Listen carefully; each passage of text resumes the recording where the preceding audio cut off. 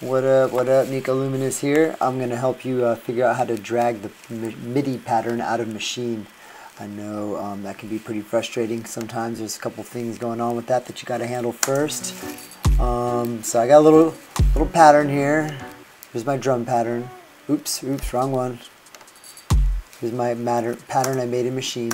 Real simple. So, these are your two tabs to drag it out. Down here. Oh, or down here. Now this is audio, that little waveform, and this is MIDI. But before you drag it out, it's going to drag it out to multiple MIDI tracks. It's a total pain in the arse. So I got to go input, oops, group. Okay, so up here, there's this little plug thing, and then there's this thing. Then it goes input, group. Now MIDI, you have to slide that to active.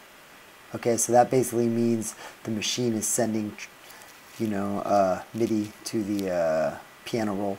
But then also you have to right click on your kit, sounds to MIDI notes, boom. Both of those things have to be checked off. And then you can just drag your MIDI pattern.